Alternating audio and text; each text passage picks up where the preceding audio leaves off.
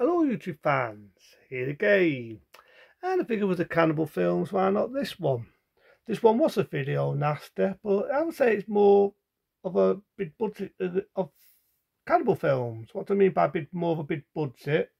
You've got two well-known stars in it, and one of them being the Bond girl, Ursula Andress. That's right, Ursula Andress in a video nasty um, cannibal film at the time, the cannibal films, as you know, was tossing it in. You had the Man Michelle, The Last Cannibals, and so on. So decided to do this one with a well-known actress, again being Ursula Andress. And um, remember right, not bad one this, not a good one. There's good bits of the jungle, and again, it's your typical jungle adventure film. Again, you get the typical dialogue based on a true story about the Stone Age as a monologue and then you've got Ursula Andress herself. And if I remember rightly, she's looking for a long lost husband. So she's looking for him. They said in this part of the Amazon jungle, he's, he's dead. There's no way in the world he'd make it. But she's determined to find him.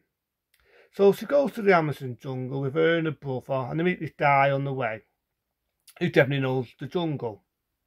So they go to the jungle to look for her missing husband. And they're also looking for gold. As the saying goes, fused gold. So there's a bit, I say this more type of a jungle adventure. Again, if you see the uncut version, this movie, by the way, I've been going on for the last hour, is the mountain of the Cannibal Gods.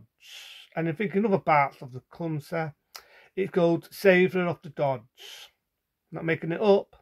So the movie Mountain of the Cannibal Gods, where can I go with it?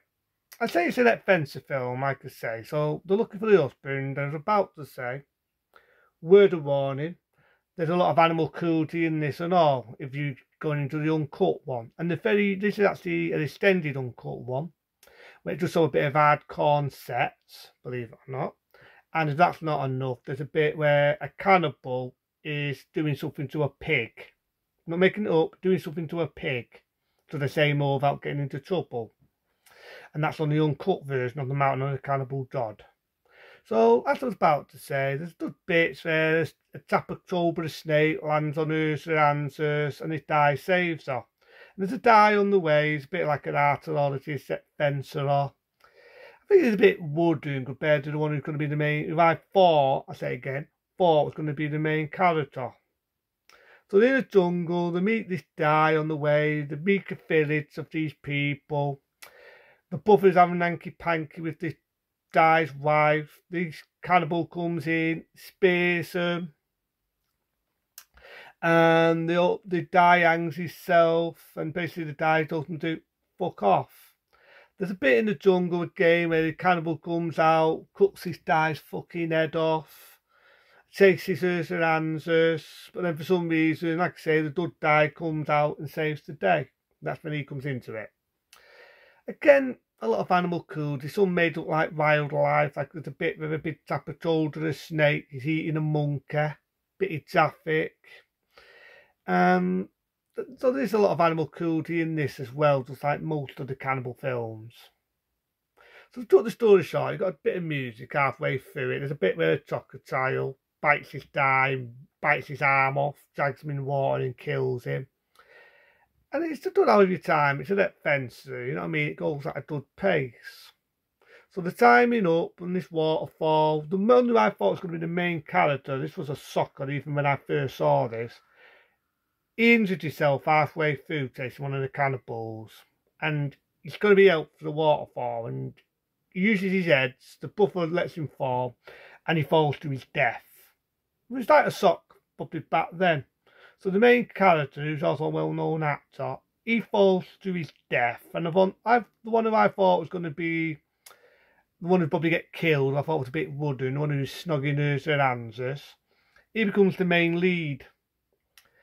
And if anyone used to fancy the ass of Ursula Andress when she was back in her heyday, this is a film where she strips off. Not just once, but a loads of times. She shows her tits, a fucking bust, an ass, you name it, she souls it. Say it again.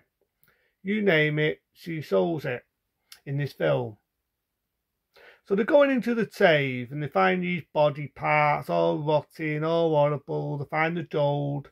And there's a bit where I meant by who's dold because the cannibals come in. And what they did was they used to bait people because dold to them, what the fuck is dold? They actually go out on a shopping spree.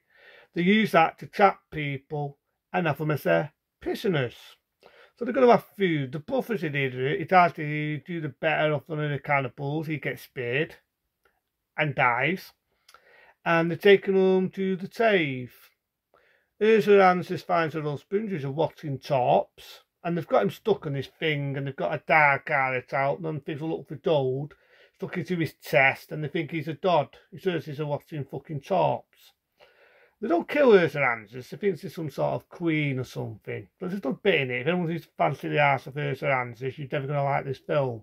She's stripped naked, they put the in her body, date stuff, you see her tits, you see her balls, you see all that. Beautiful, bit of fun, very nice. A bit like this is where it does get a bit nasty though, because halfway through the film, it's it's a jungle fencer film. I say it again, jungle wet fencer film, but they get the bit where they kill the brother, right, and you see him cutting him up, pulling his insides out, usual cannibal shit. There's a bit where they're killing snakes and they're ripping it and they're biting into it. You've got this little fucking dinky winky little cannibal who's laying into the fucking main character.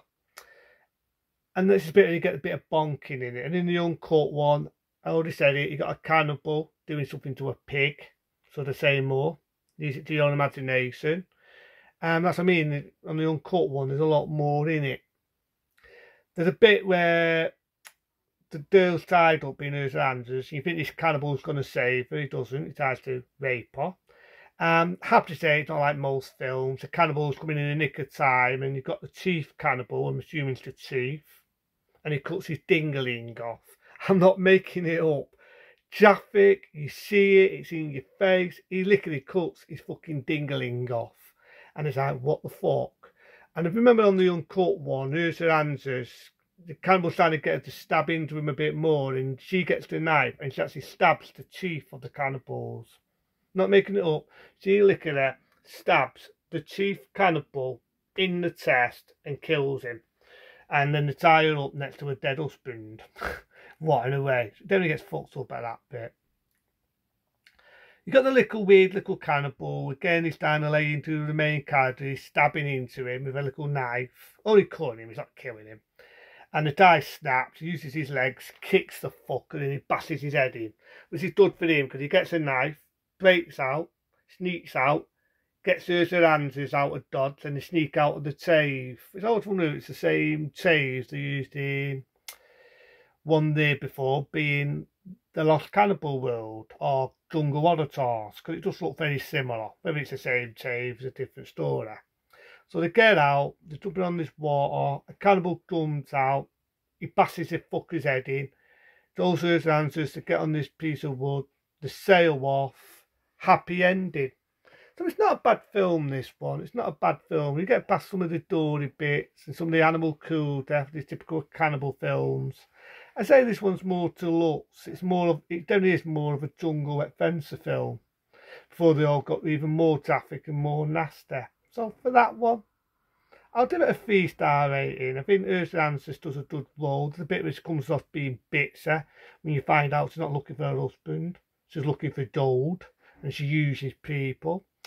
Um, but it's still a good film. I think the surprise that one of the guys you think could be the main character fell to his doom must have been definitely surprising for that era. And I do like the die becomes a hubby. Yeah, he's a bit wooden at first, but as he goes on, he definitely he's acting his pericope. His pericope. So this one, again, there's a lot, a lot of use of the jungle, a real jungle. It feels like an adventure film. Goes at a good pace. I say it's quite a stylish one for the video nasty era, and especially for the, the cannibal era. So into them people, three star rating. Be smart, be safe, and I'll see you later.